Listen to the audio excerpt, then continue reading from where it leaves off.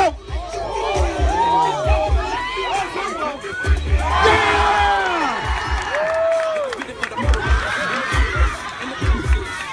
Give it up for Isaiah, everybody!